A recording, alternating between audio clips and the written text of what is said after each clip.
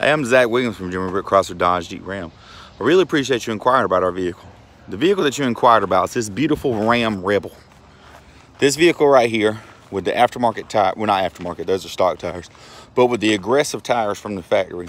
Beautiful, mean, aggressive front end with the hood scoops, with our patented Hemi is the baddest truck on the road.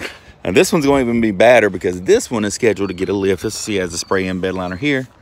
This one's fully upgraded with all the leather and everything. I'll show you that through the window. The red leather inserts with a red leather steering wheel.